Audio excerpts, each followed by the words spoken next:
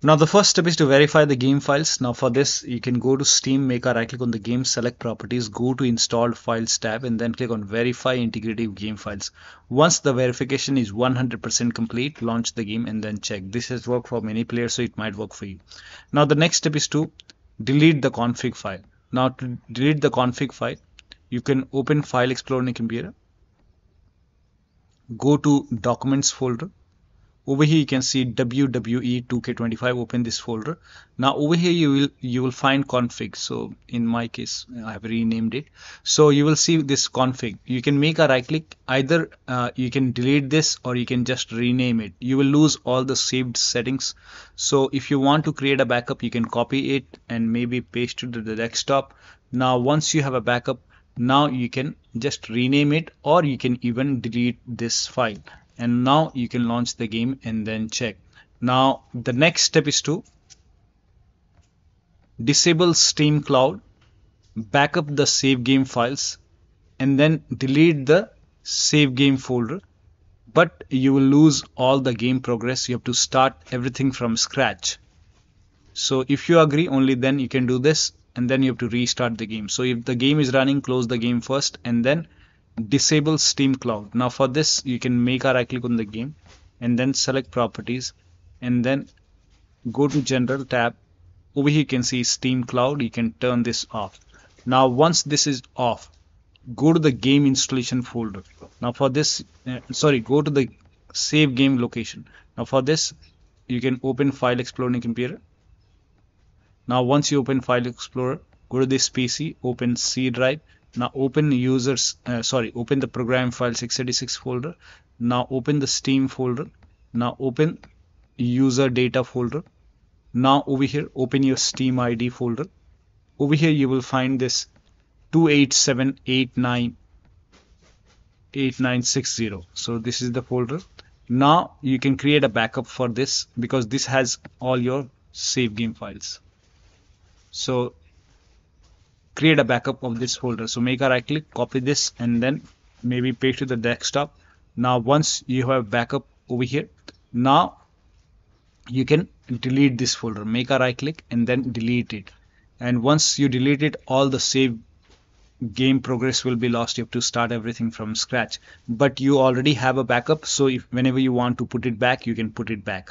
So delete this folder. Now once this is deleted now you can restart the game and then check. This has worked for many players. So if the game is crashing in MyRise then that should it should fix the problem. Next step is to install visual c++ file. For this copy this link. The link is provided in the video description. Open this link in a browser. It will take you to microsoft website. On this website install these visual studio files. So download this x86 and x64 version. So download this x86 and run this exe file. Now if you see the repair option click on repair. If you see the install button hit install click on yes to allow. Download this x64 file as well. Now again if you see the repair option click on repair. If you see the install button hit install and let the installation complete. Make sure both the files are installed. Now both are installed then you can close this so here you can see installed now you can close this. Now restart your computer restart a must after this after the system restart launch the game and then check. Next step is to allow the game exe file to antivirus program. So if you have any third-party antivirus like Avast, Norton, Bitdefender, McAfee, whichever antivirus program you have, allow the game exe file to antivirus program. Now if you're using Windows security, then open Windows settings, go to privacy and security. If you have Windows 11, in Windows 10, click on update and security. Now click on Windows security and then click on virus and threat protection. Scroll down at the bottom you will see manage ransomware protection. Click on it. Now click on allow an app through control folder access. Click on yes to allow. And then click on add an allowed app. Click on browse all apps. Now go to the game installation folder. So wherever the game is installed in my case the game installed in C drive in steam folder and then this is the location. Now open the game folder select the game exe file and then click on open. Once the game is added over here now type in control panel in windows search box and then open control panel. Now go to system and security windows defender firewall. Click on allow an app or feature through Windows Defender Firewall. Click on change settings at the top. Now click on allow another app and then click on browse and then go to the game installation folder once again and then open the game folder. Select the game exe file click on open. Now click on add. In my case the game is already added. So once the game is added so in my case yeah it's added. Once the game is added over here now you can launch the game and then check.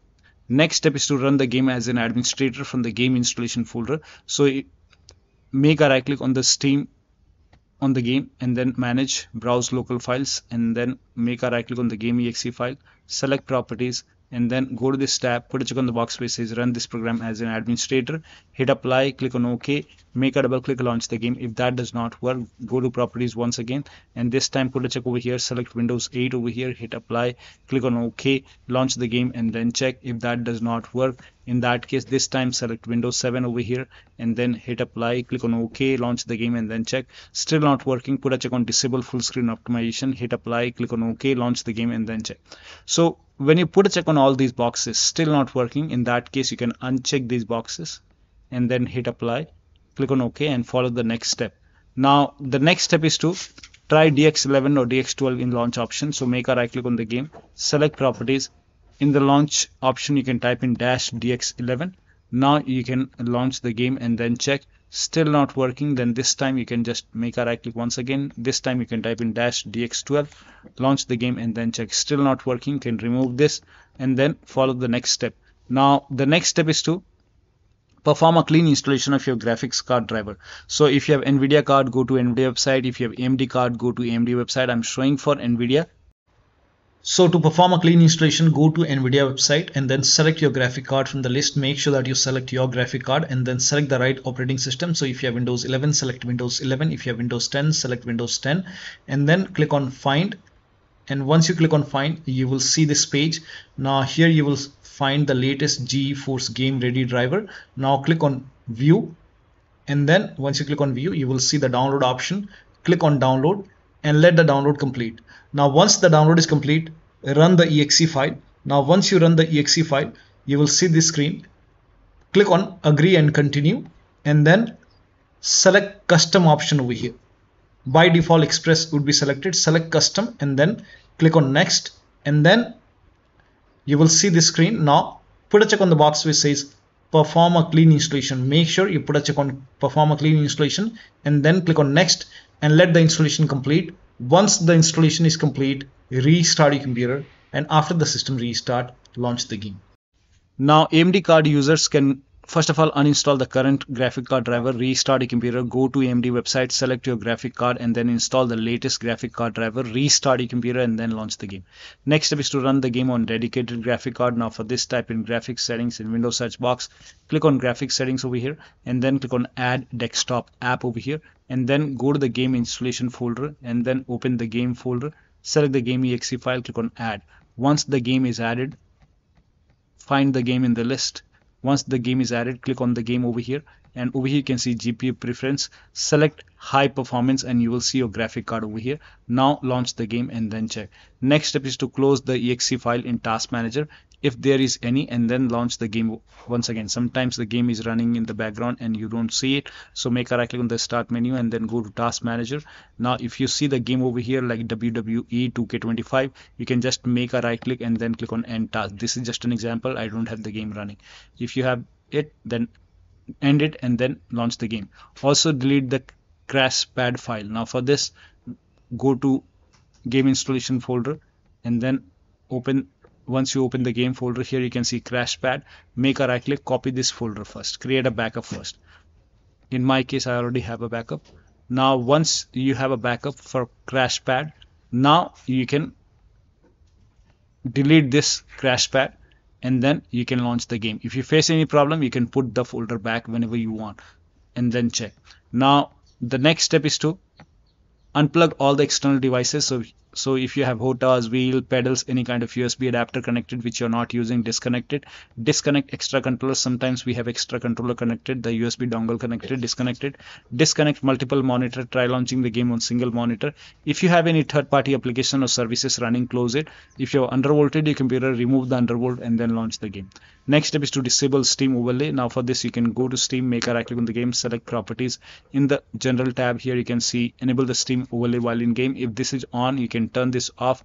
Also if you have any other overlay application running like Discord running you can turn off this overlay in Discord settings. If you have GeForce Experience running or if you have NVIDIA app running you can go to settings and then over here you can see NVIDIA overlay. You can turn this off or you can simply close all the overlay application and then launch the game. Also, if you have any overclocking application, like if you have MSI Afterburner running, or if you have Riva Tuner running, sometimes it's hidden. If you have Riva Tuner running, then sometimes it's it's hidden over here. I'll show you. So you can make a right click on MSI Afterburner, close it. If you have Riva Tuner running over here, close it or you can simply close all the other overlay application overclocking application and then launch the game. Next step is to this is for AMD users. You, you can install this AMD optional update. Optional update um, over here is AMD 25.2.1 you can search in Google go to AMD website and then scroll down over here. You can see this optional update. Click on it. And then once the download is complete you can run this exe file install it restart your computer and then launch the game. If that does not work in that case you can even try to install this AMD optional update. That is 25.1.1 optional update. Go to AMD website and then scroll down and then you can click on it and then once the download is complete run this exe file install it and then restart your computer and then launch the game. Now the next step is to update your windows to the latest version. This is very important. So go to windows update or update and security in windows settings then click on check for update. Once all the updates are installed over here then restart your computer and after the system restart launch the game. Right now the current version latest version is version 24h2 so update your windows to version 24h2 and then launch the game. Next step is to increase the virtual memory. So to increase the virtual memory type in view advanced system settings in windows search box and then click on view advanced system settings and then click on the first settings and then go to advanced tab and then click on change over here and then select the drive so uncheck the box which says automatically manage paging file size for all drives. Uncheck this box and select the drive where the game is installed. So select the drive and then once you select the right drive, now put a check on custom size and for initial size it's 1.5 into total RAM. So you can check the total RAM in Windows settings. You can go to system and then go to about and total RAM in my case is 16 gigabyte. So you can calculate accordingly. In my case it's 16 GB so I will calculate as per 16 GB so and first of all we have to convert 16 GB into megabyte. So we will open calculator. So type in calculator in run box and then click on OK. And over here uh, it's 16 1.5 into total RAM. Total RAM in my case it's 16 RAM 16 GB. So 1 16 into 1024 1024 is actually 1 GB is equal to 1024 megabyte. So 16 GB in megabyte will be 16384 into 1.5 1.5 into total RAM. This is my total RAM in megabyte. Now 1.5 into total RAM total RAM that is into 1.5 so in my case initial size is 24576 24576 and maximum size is 3 into total RAM. Now total RAM in my case that is 16 gigabyte. I have 16 gigabyte of RAM. So 16 into 1024 I have converted this in megabyte. Megabyte now that is 3 into total RAM. So total RAM is this much into 3 that is 49152 49152 4915 now click on set over here. Then click on ok. Ok apply. Ok ok. Now restart computer make sure that you restart your computer after this. Now the next step is to update the BIOS. So go to your system manufacturer website, select your model number and then install the latest BIOS. In case of laptop, make sure battery is more than 10% and the AC adapter, the charger is connected to the computer. After the BIOS update, log into the computer and then launch the game. The last step is to uninstall and reinstall the game to different drive. So if nothing is working, you can make a right click on the game, select manage, uninstall. Now after the uninstall, go to the game installation folder, delete the game folder and then install the game to C drive. So if the game is installed to any other drive like E drive, F drive or any external drive, try to install the game to C drive and then check. If the game is already installed to C drive, then try to install the game to another SSD and then check. So one of the steps shown in this video should help you to run the game successfully on your Windows computer. So that'll be all. Thank you so much for your time and please like this video and subscribe to my channel.